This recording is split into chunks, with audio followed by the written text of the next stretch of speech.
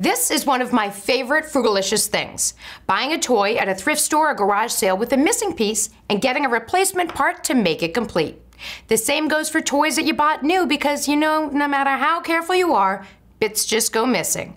I'm sure some of our missing pieces were mailed in the diaper pail when no one was looking. Check the website of the toy manufacturer to see if they have their replacement part policy listed or just call customer service to ask. Some companies will even send you the pieces for free. We have the links to some of the most popular toy companies below.